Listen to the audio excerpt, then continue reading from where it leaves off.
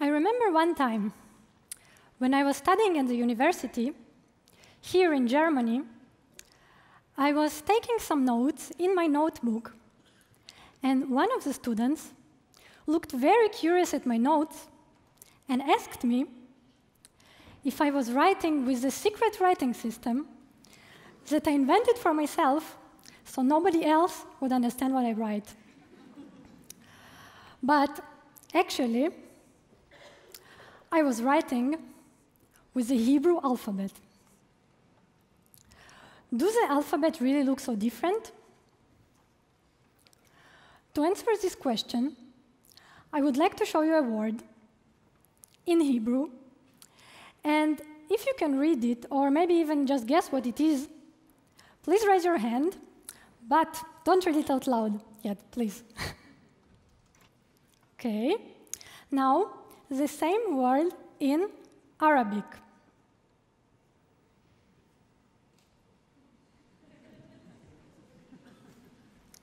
and in Russian.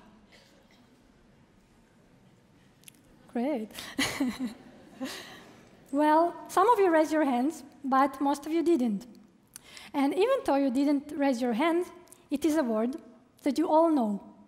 In fact, it stands here right behind me. It's Berlin.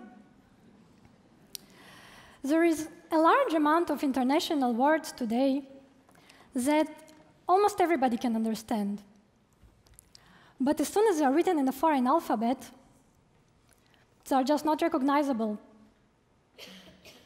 They do look quite different, don't they? And not just because of the forms of the letters, but also because Hebrew and Arabic are written from right to left, and they are usually written without vowels. In this case, the word Berlin is written without the E. Quite different. But what if we took a closer look? Let's isolate for a moment only the letter with the sound L. Who can see any similarities now? Mm -hmm. Well, some of you can. And what if we rotate the Hebrew lamed, mirror the Arabic lam, rotate and abstract a bit the Cyrillic L?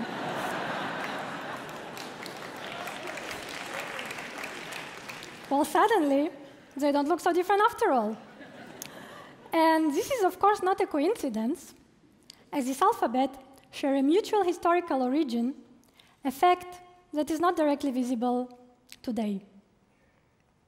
But I promise you, if you will divide the letters into sound groups and start to compare them, you will find a lot of similarities.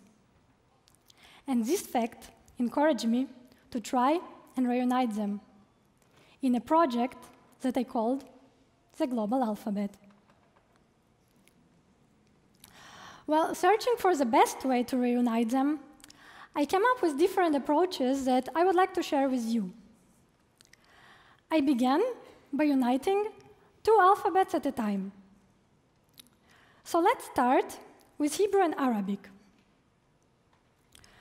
For Hebrew and Arabic, I decided to design a layer font that unite similar sounds. Here you can see the Hebrew bet and the Arabic ba. In the font, I adjusted them to one another so when they're overlapping, you can see their similarities and their differences. Here you can see the word Berlin simultaneously readable in two different languages.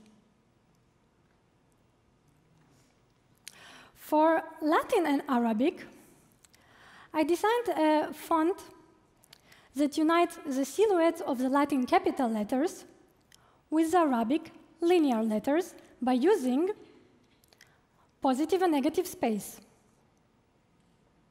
So knowing just one of the alphabets is enough in order to be able to read the other. Thank you.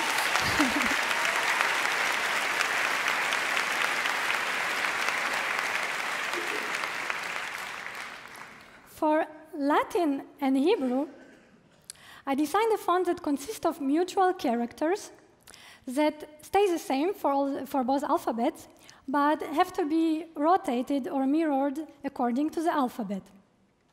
So if this is the Latin B, this is the Hebrew bet. Now to write Berlin, in Hebrew, we can use exactly the same characters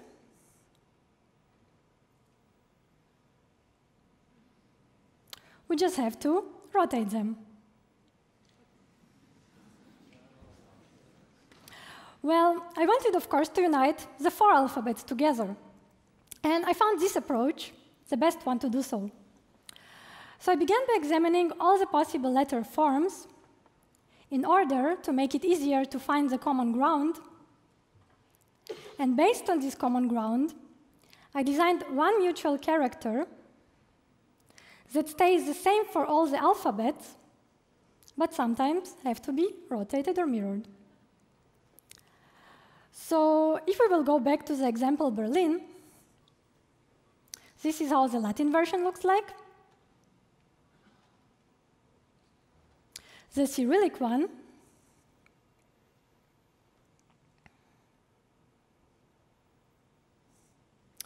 the Hebrew,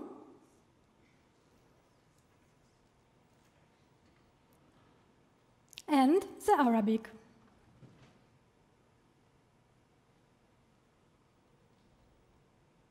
Now, we just need a final touch for Hebrew and Arabic to make it in the right direction. and now, we have one word written in four different languages using the same characters.